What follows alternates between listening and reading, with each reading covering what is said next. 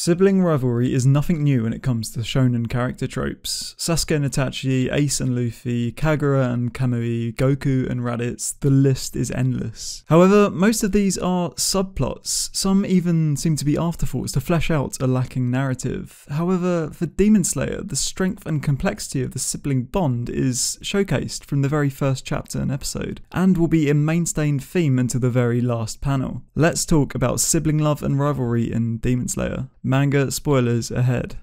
Highlighting the bond between Tanjiro and Nezuko has been a central aspect in both the anime and manga, with Tanjiro saving Nezuko being the overarching plot of the series. Although we have more frequent reminders that Nezuko has been instrumental in saving Tanjiro when his head is on the chopping block. For example, regaining consciousness to help Tanjiro take on Rui by unleashing her demon art, or Nezuko in her demon form transformation to save Tanjiro and friends from Demon Moon's Daki and Gyutaro. And again, dialing up the demon mode to take on Hatengu in the Sword Swordsmith village arc. Tanjiro and Nezuko have had more than enough limelight, so let's give center stage to the other brothers and sisters in the Demon Slayer cast. Let's start right at the top of the power scaling ladder with Michikatsu and Yoriichi Tsugikuni, aka Upper Demon Moon 1 Kokushibo and the original Breath of the Sun user. Possibly the most complex relationship in the series, exploring the yin and yang of the sibling bond with contrasting personalities. Michikatsu's unwavering love to protect his little brother in their youth is later overshadowed,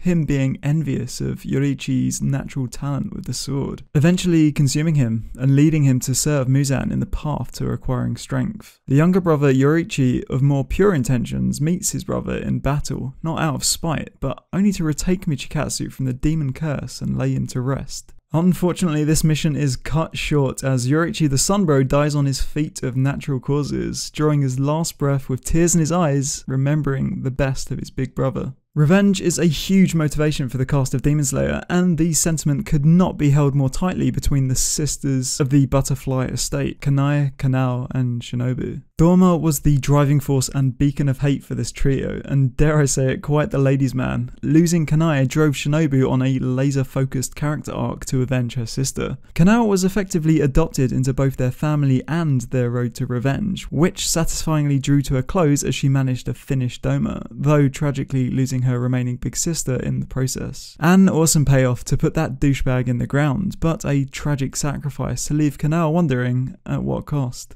Nezuko and Tanjiro, Kokushibo and the Breath of the Sun user, or the sisters of the Butterfly Estate. Who has the tightest family bond? Let me know in the comments below. This will be it for part 1 and part 2 will be on the way shortly. I'll be talking about Genya and Tsunemi the Wind Pillar and their devastating backstory. Also, the tragic past of Muichiro, the Mist Pillar, and his perilous brother, as well as a couple more. Stay tuned. This was Anime Fried Chicken. Thanks for watching. If you like this kind of video, please subscribe and you'll be telling me, hey, you should make more videos just like this. I have a ton of Demon Slayer and anime discussion videos, so go check them out. I'll catch you guys next time. Cheers.